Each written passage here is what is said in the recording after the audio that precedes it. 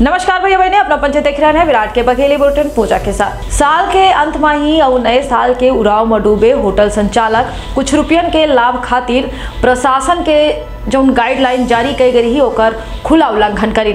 जानकारी पाते पुलिस प्रशासनिक अधिकारी छापामार कार्रवाई करी तो होटल के संचालक लिफ्ट का बंद कर दी जोने के बाद पूरा प्रशासनिक अमला सीढ़ी से चढ़कर होटल में पहुँचा, जहाँ पर तीन सैकड़ा लोग मौजूद रहे हवा अपने बताई दी कि जोने समय पर पुलिस की टीम वहाँ पहुँची, वहाँ उस समय लोग खाना खाते रहे। हम होटल संचालक, पुलिस प्रशासन से उलझ गए और राजनीतिक दोष दिखावे लगे। पुलिस जहाँ होटल संचालक का एक कई जम के फटकार लगाई, तहां दूसरे कई कार्रवाई के निर्देश दीन ही अपने बताए दे कि यह मामला गायत्री मंदिर रोड में चलाए वाले द हाई ट्राइब रेस्टोरेंट के आए। बुलेटिन की अगली खबर ही, जहाँ नए साल के स्वागत करे के लाने रीवा, माही, शांति और सद्भावना महोत्सव कार्यक्रम के आयोजन की इनका इस समय माही, शांति दौड़ आयोजित की गई रही। जोने माही विधानसभा अध्यक्ष गिरीश गौतम, विधायक राजेंद्र शुक्ला के अलावा और दूसरा अधिकारी मौजूद रहे। शांति दौड़ टीआरएस कॉलेज जय स्तंभ प्रकाश चौराहा, शिल्पी प्लाजा, हॉस्पिटल चौराहा से हुई के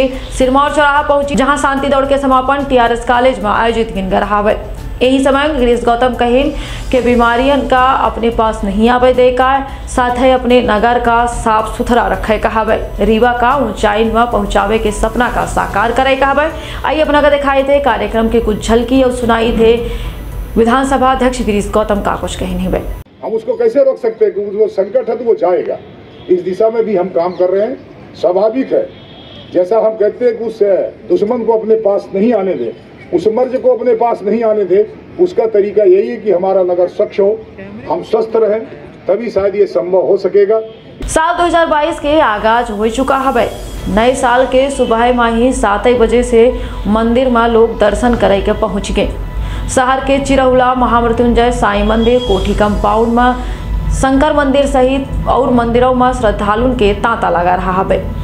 बड़े व्यंजन से परिवार के साथ लोग मठ और मंदिरन में माथा टेके पहुँचे और के साथ है नए साल के शुरुआत करी। अपने बता दी कि छुट्टी हो के चलते बच्चों परिवार के साथ मंदिरन में दर्शन करे का पहुँचे। हालाँकि मुकुंदपुर चिड़ियाघर में यह बतावा जा रहा है कि वहाँ अच्छी खासी भीड़ भी इकट्ठा बही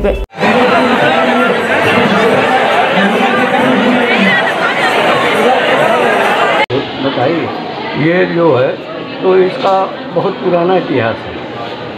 ये कम से कम पाँच सौ वर्ष से ऊपर मानिए कि पाँच सौ वर्ष पहले बुलेटिन की अगली खबर में बोलबम कांवरिया समिति के पदाधिकारी और वहाँ के रहे वाले लोग, कलेक्टर का ज्ञापन सौंपिन। बताइन के जौन निर्माणाधीन सुलभ कॉम्प्लेक्स के काम चल रहा है ओका तुरंत रोका जाए। और वहाँ के बने वाले सुलभ कॉम्प्लेक्स का तुरंत रोके के मांग करी। अपना को बताए दे कि ज्ञापन में यह बतावागा कि कुंडलेश्वर नाथ मंदिर गंगानगर के सौहे बिहार पुल के नीचे, बाढ़ के रेड जोन में ही सुलभ कॉम्प्लेक्स से निर्माण करा बजा रहा है जोने के कारण वहाँ रहे वाले आवासीय परिवार बिना कोनो कारण के बाढ़ के चपेट में आई जाई साथ ही यह बता दी कि सुलभ कॉम्प्लेक्स के गंदा पानी बिहार नदी में मिली। एक कारण वहाँ के रहे वाले लोग बीमारी के चपेट में ही यही के कलेक्टर से मांग करी गई है कि निर्माण के काम का तुरंत रुकवावा जाए। साथ है मंदिर के गेट के सामने से जो मंदिराए और झोपड़ी में अस्थायी अंडा मुर्गा के दुकान है उनका तुरंत हटवाई जाए। जब के आम आदमी मंदिर में दर्शन खातिर आसानी से प्रवेश कर पावे। मैं आपका और किस प्रकार के यहाँ निर्माण कराया जा रहा है? ये निर्माण कार्य ये नगर निगम की तरफ़ से करवाया जा रहा है। यहाँ का जो गंदा पानी है वो नदी में ही जाएगा या गटर यहीं पास बनाएँगे वो ऊपर कम्प्लेक्स सामने बना है इसके। उसका भी पानी अभी नदी में ही जाता है। वहाँ ऊपर कम्प्लेक्स बना अब यहाँ भी कम्प्लेक्स बनवा रहे हैं। यहाँ हम लोग रहते हैं क्या है कि मिट्टी उट्टी हो जाती है हिंदुओं में नदी में ही क्रियाक्रम करना पड़ता है तो इसका गंदा पानी जो है सर तो नदी में ही जाता है। इसके लिए हम लोगों को बहुत परेशानी होती है। भैया क्या नाम है आपका और ये क्या यहाँ निर्माण किया जा रहा है? मेरा नाम संदीप शुक्ला है। यहाँ सुलभ कॉम्प्लेक्स बनाया जा रहा है। ये पुल के नीचे बनाया जा रहा है, किस प्रकार की दिक्कत हो गया गया यहाँ दिक्कत, सर, दिक्कत दिक्कतें दिक्कत है। आप सामने देख सकते हैं, नाली नर्दा इतना कचरा है और नाली पूरा यहाँ नदी में जुड़ी हुई है। यहाँ शंकर जी का एक तो मंदिर है तो इसमें मैंने कोई आ जा नहीं पाता। वहाँ भी बना है, अपने मने शंकर जी के जितने मंदिर हैं, कष्ट हरोनाथ यहाँ बना है। उसमें जाना आना बंद, हवली के कारण यहाँ से दारू, मुर्गा, गली में सब ये हो गया। अब वहाँ से कॉम्प्लेक्स ले आके यहाँ शंकर जी के मंदिर में यहाँ भी बंद कर रहे हैं बोलते हैं ये मंदिर अवैध बना है तो क्या ये नहीं बन सकता है? और यही सब पूरी गंदगी नदी में जाएगी ये सब वातावरण प्रदूषित होगा इससे। इसकी शिकायत आप लोग किसी से किए किसी से हाँ, बात कलेक्टर माननीय कलेक्टर साहब को हम लोग ज्ञापन सौंपे हैं उसमें। क्या लगता है आपको किस कारण ये निर्माण कराया जा रहा है? नगर निगम के थ्रू सुलभ कॉम्प्लेक्स बनवाया जा रहा है। अब सुलभ कॉम्प्लेक्स नदी के किनारे गंदगी सब होगी नदी में जाएगी। नदी की एकदम फ्लाईओवर के ऊपर नीचे बनाया जा रहा है तो आने वाले समय में बाढ़ जैसे हालात भी बन सकते होंगे। वो तो हर साल नष्ट होगा बोलते हैं शासन का पैसा है आता जाता रहता है उससे कोई फ़र्क नहीं पड़ता। वो किसी प्राइवेट का थोड़ी लग रहा है।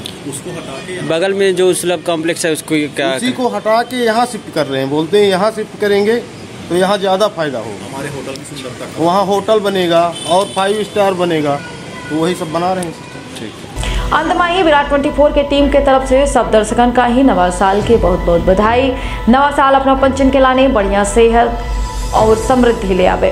तब तक खलाने दे इजाज़त, नमस्कार।